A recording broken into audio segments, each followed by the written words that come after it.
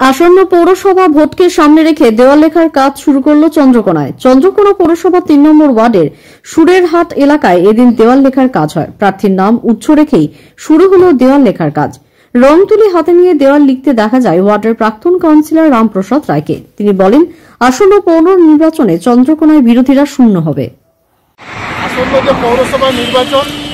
সেই পৌরসভা নির্বাচনকে সামনে রেখে আমরা ন নম্বর ওয়ার্ড তৃণমূল কংগ্রেসের কর্মী আমাদের ওয়ার্ডের সভাপতি, আমাদের মহিলা সভাপতি, আমাদের যুব সভাপতি, সবাই একসঙ্গে থেকে আমরা আজকে দেয়াল লোকের কাজ শুরু করছি।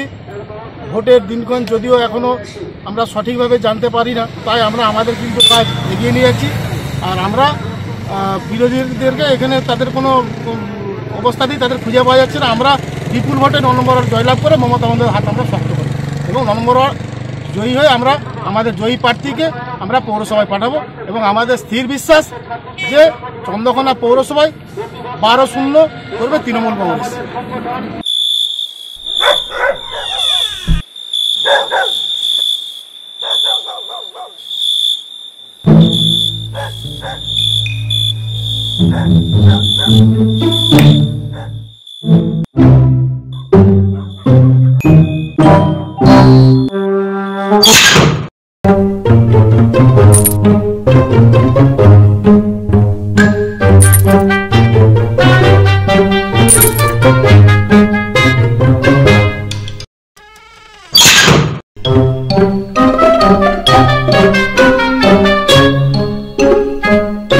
Sometimes fashion can change vision.